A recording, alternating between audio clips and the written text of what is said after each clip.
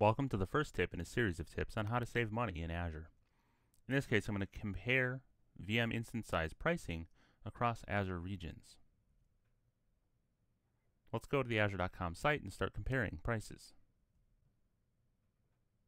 Okay, I've opened up two browser windows side by side so we can see some comparisons next to each other.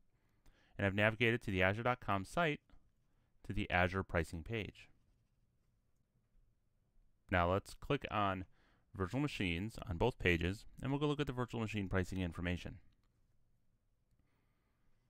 In this case, it has CentOS or Ubuntu Linux selected as the OS, but it could be Windows or SharePoint or whatever. That doesn't matter. The pricing is going to be the same in this case. So we'll select the Azure regions. On the left here, I'll pick South Central US, and on the right, let's pick West US. So now we're going to expand for virtual machine categories. Click on General Purpose, and I'll move these side by side so we can do some comparisons visually. So the A0 instance in South Central US is 1.8 cents per hour, and in West US it is the same price. Although we can see an A1 is 2.5 cents per hour in South Central US, and in West US it is 3.1 cents per hour. So starting to get a little difference here in pricing tiers. And we can see the other ones are a little bit different, and if I highlight A4, three, um, 35.2 cents per hour, compared to West US 37.6 cents per hour. Let's scroll down past some of these and go down to um, the storage optimized, just as in this example. So do that on the left side here as well. And we can see, um, actually, South Central US does not have L series available, so I'll, I'll pick a different one, uh, compute optimized instead, and that'll be available so that we can compare side by side. F1 in South Central US is 5.5 cents per hour, and F1 in West US is 6.2 cents per hour. And if we go down to the bigger size, F16, 87.6 cents per hour in South Central US, and West US it is 99.7 cents per hour.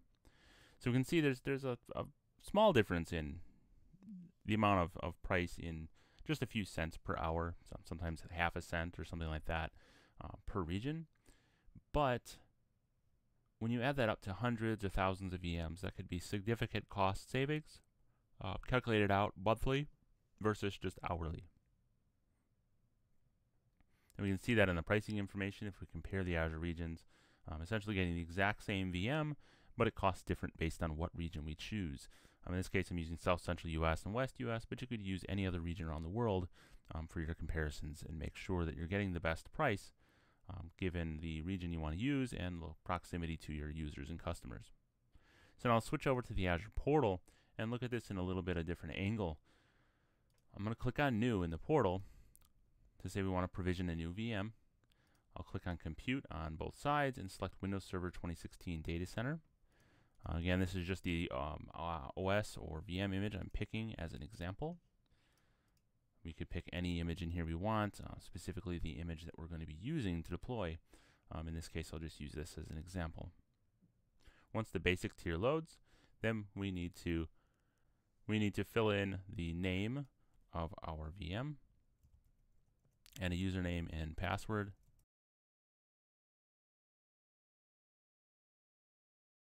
Now that I have the information entered, we can select the location or Azure region for each.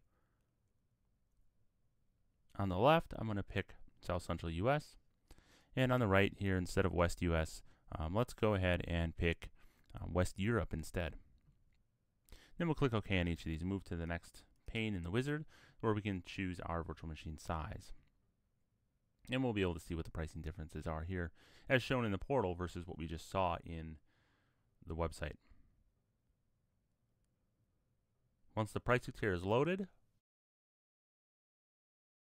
now we can see the pricing is different between each. We can see DS1 V2 in South Central US it is 96.72 um, or $96.72 per month estimated and in the Europe region it is $100.44 estimated per month. And we can see also like DS11 V2 is 223 in, in South Central US and 241 about in the European region. If we click on View All, and we can view all the different Azure pricing tiers for our VMs. And We can scroll down and see different ones.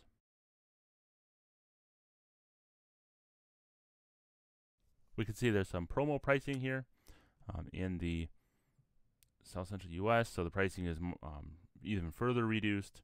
So currently DS2 V2 is $165 approximately for South Central US and in the European region it's $200.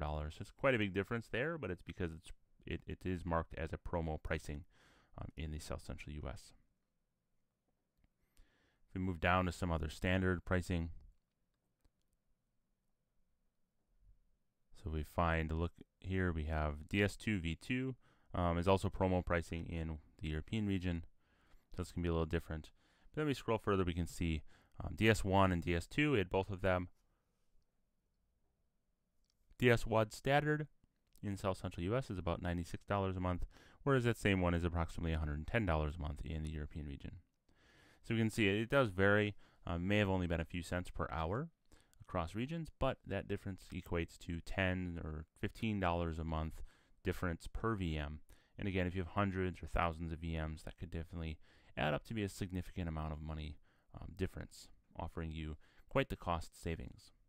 Something I ran into here too is the promo pricing is different per region depending on which VM sizes are in promo um, in that region, as well as some regions don't have all sizes available.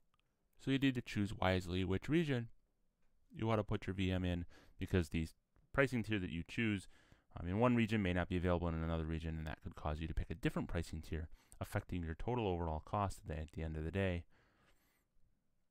So we can see the pricing is different. Um, it's actually a little more significant if we look at the DS13 V2. It's a pretty big VM in the European region. It's almost $750 a month. And in the South Central US, that same VM size is just about $736 per month. So it's about $13 difference per month per VM and say you have a thousand VMs or something, that would be $13,000 difference. Um, quite the impact on your budget, uh, depending what you're choosing, what you need, and all that. Um, given you'll probably have multiple VMs, varying sizes, it's really hard um, to say what your actual pricing difference or, or benefit would be of choosing one over the other. But it's definitely something to think about when moving um, workloads into the cloud or choosing which regions to use for hosting um, that's optimal for your users and things um, when it comes to price in comparison. Okay, thanks for watching. If you want to see more tips like this, please subscribe.